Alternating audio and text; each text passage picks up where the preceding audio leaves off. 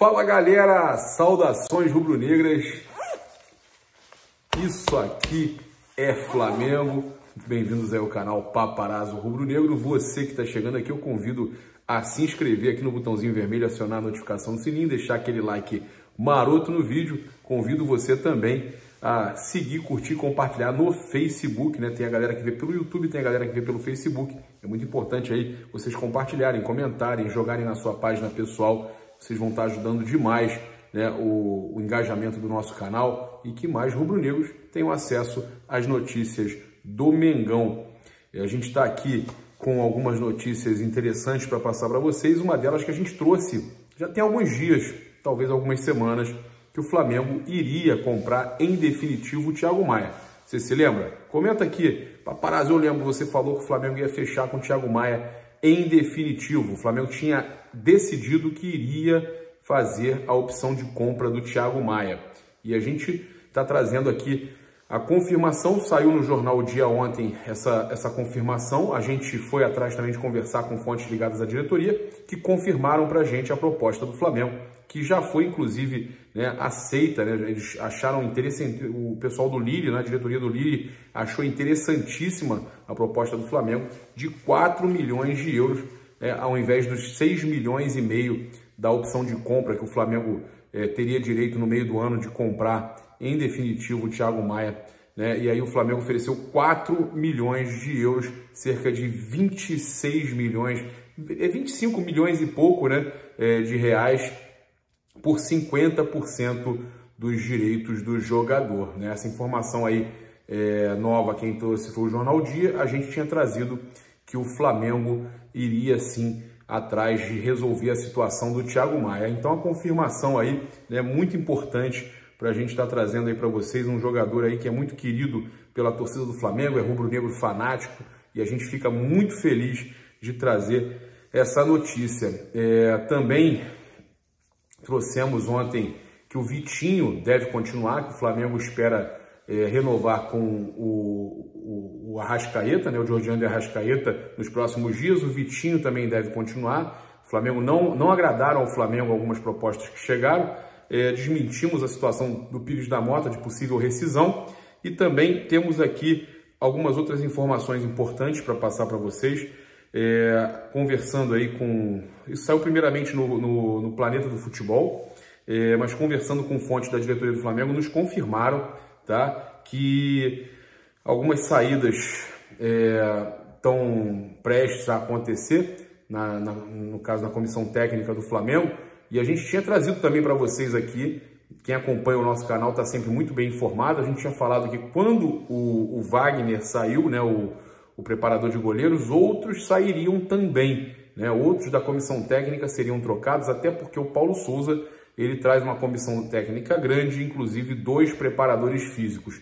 Um desses preparadores físicos, é o, o aquele que inclusive muita gente contestava, o, o Rafa Vinick, a gente já até entrevistou ele aqui no canal. O, o Rafael Vinick, é, segundo fontes ligadas à diretoria, deverá ser dispensado e um outro também, já que o Paulo Souza ele chega com dois preparadores físicos. Então, galera, essa é a notícia é, de momento que o Flamengo está trocando ali, mudando tudo ali na, na comissão técnica, é, até que foi um ano que teve muita, é, foi muito contestado, né? muita contestação com relação é, a, a questão da preparação física dos jogadores do Flamengo. Então, é, essa, essas mudanças aí ocorrendo, não de repente por uma reformulação, mas porque o Paulo Souza já chega com a sua equipe de confiança e aí não tem jeito. A gente teve também o, o Maracanã ontem é, divulgando a, a imagem do, do, gramado, né, sendo preparado. Olha aí, o gramado Maracanã já sendo preparado de forma híbrida, né? É um semissintético, na verdade, é uma parte natural e parte sintética, é, mas ele é bem, ele é bem natural. Ele tem uma partezinha só ali é, no plantio que é, é sintético e aí o, ele, ele dura um pouco mais, né? Vai durar mais na temporada é um, é um formato de gramado que dura um pouco mais, não vai, não é também uma coisa que a gente diga, olha, ele vai ficar sempre bom, mas ele dura um pouco mais, pelo menos é para durar um pouco mais. E aí o perfil oficial do Maracanã já publicou a imagem do gramado como ele está se recuperando, é, no caso sendo replantado.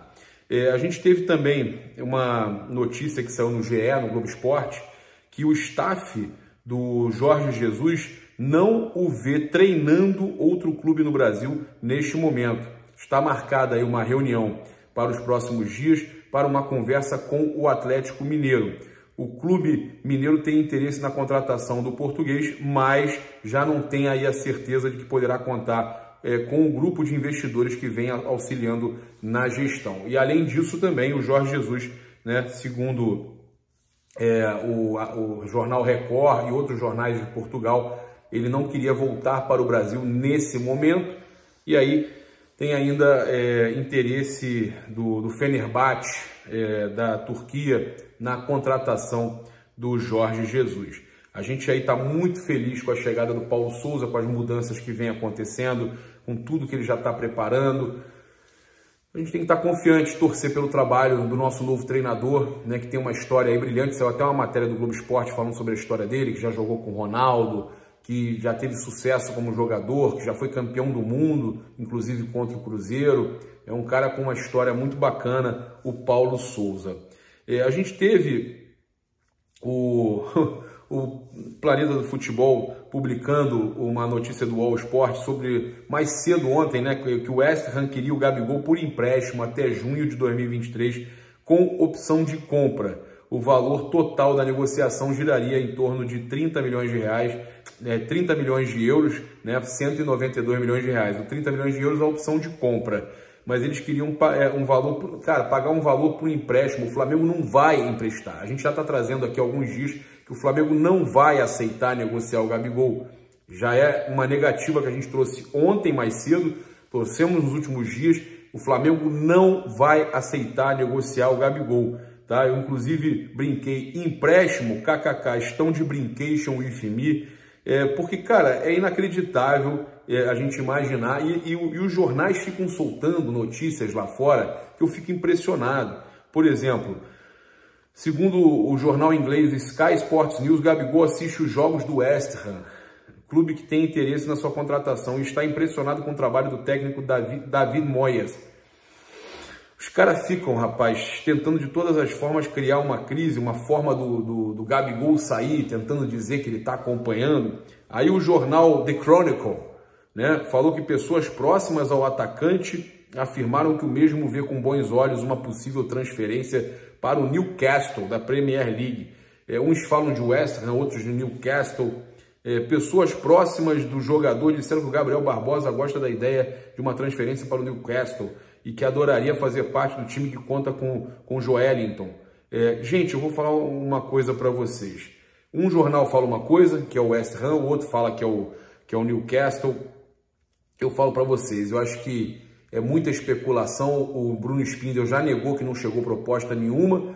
E o que a gente traz para vocês é que o Flamengo não vai aceitar, né, proposta de compra no caso, né? E que o Flamengo não vai aceitar negociar jogadores como Pedro, como Gabigol, como o Arrascaeta, jogadores é, que são considerados do, do elenco principal, Flamengo, do time principal, o Flamengo não vai negociar por empréstimo, não adianta, o Flamengo não vai, os caras vão ter que vir aqui pagar a multa ou pagar muito alto pelo jogador, não vai ter essa, tá? É, também passar para vocês aí que o, o Vitor Gabriel, segundo o GE, o Vitor Gabriel está na mira do Juventude, né? O Vitor Gabriel que é, nesse seu retorno de Portugal não foi muito bem no Flamengo, é, e segundo, então, o Globo Esporte está sendo observado pela equipe de Caxias do Sul, deseja contar com o atleta por empréstimo. Né? Aí, esses jogadores assim, você empresta com opção de compra, com obrigação de compra, com, uma, com alguma, é, no caso, cláusula no contrato. E, e a gente sabe que o Vitor Gabriel não foi bem e o Flamengo vai ter que arrumar um clube para ele jogar. O Juventude está interessado,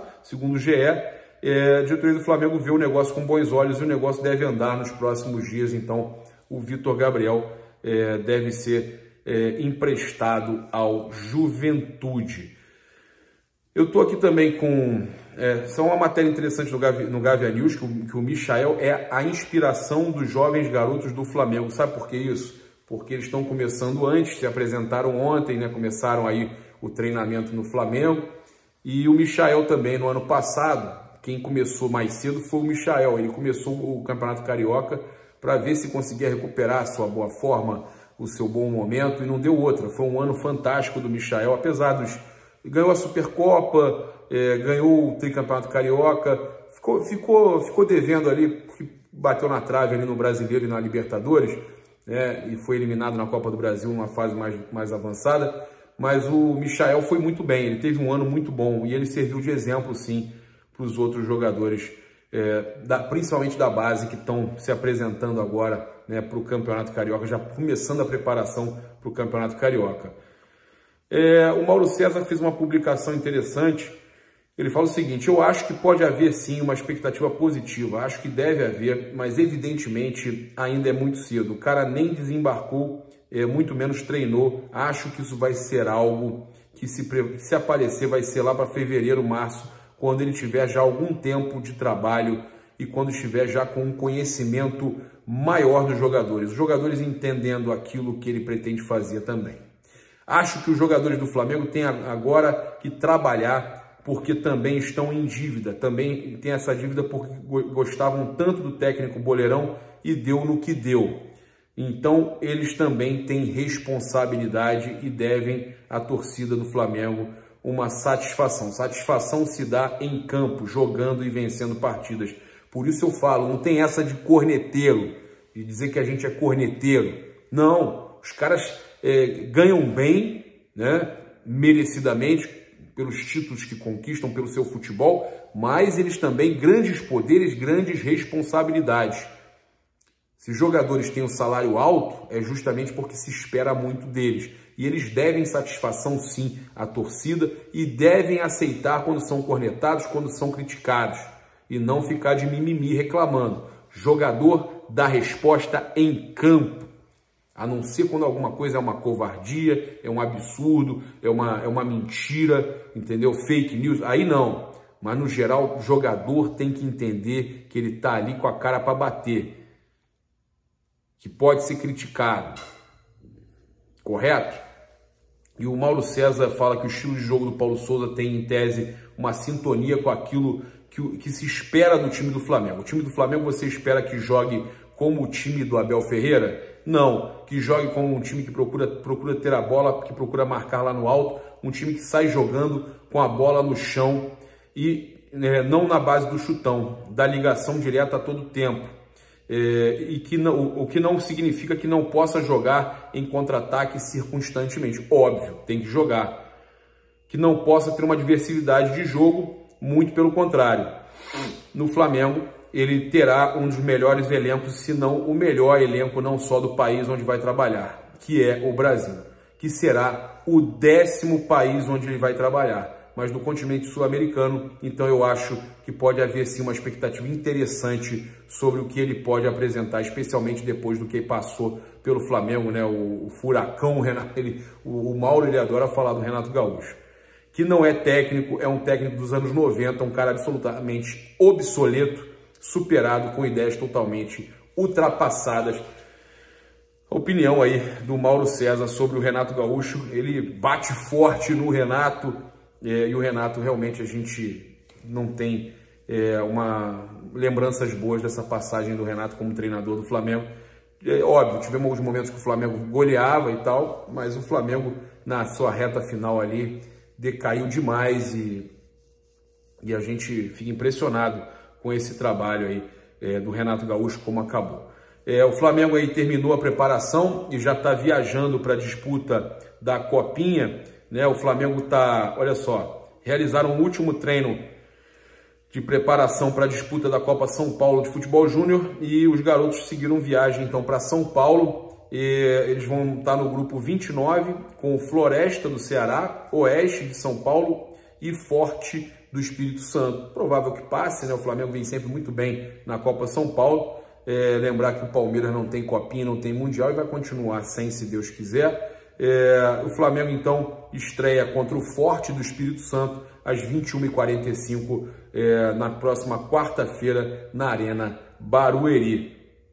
É, o Flamengo optou por colocar a maioria dos jogadores do Sub-20 né? Porém, algumas joias que se destacaram na grande campanha, o Flamengo ganhou a tríplice coroa no Sub-17, também estarão presentes, como o Matheus França, o Vitor Hugo Peterson e o Mateus, Mateusão. É, antes da viagem, é, o técnico Fábio Matias também falou com a Flá TV. É, fizemos um treino um pouco mais leve, priorizando a questão das bolas paradas. Vamos enfrentar uma viagem para Barueri daqui é, a dois dias vamos fazer a nossa estreia. Então fizemos apenas ajustes pontuais, pois a preparação foi feita ao longo destas duas semanas. É, o Matheus França também falou o seguinte: estou com uma expectativa muito boa.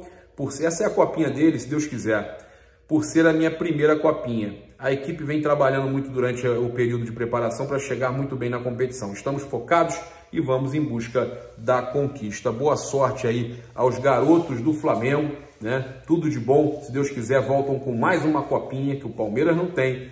E a gente convida você que está aqui com a gente até agora, com essa audiência fantástica, a abrir sua conta na Nação BRB Fla. É muito importante com o cupom PAPA ou PAPARAZO né? Você pode escolher Papa, Paparazzo, logo depois da selfie no cadastro, o link para você que está no YouTube está aqui no comentário fixado, o link, é, você que não tem como acessar o link, está no Facebook, você vai direto é, na loja do iOS ou Android e baixa agora mesmo o aplicativo Nação BRB Fla. E aí, como eu falei, utiliza o cupom Papa ou Paparazzo para estar tá concorrendo a muitos prêmios no decorrer do ano. A gente está sempre fazendo alguns sorteios interessantes, como a gente já fez no ano de 2021. Convido você também a utilizar o cupom PAPA nas lojas espaçorubronegro.com.br e loja.flamengo.com.br. 5% de desconto para você nos mantos do Mengão, nos seus produtos oficiais do Flamengo, somente nas lojas online com o cupom PAPA. Tamo junto, saudações rubro-negras. Isso aqui é Flamengo. Valeu, galera. Aquele abraço. Até mais tarde. Bom dia. Tudo de bom. Vamos, Mengão.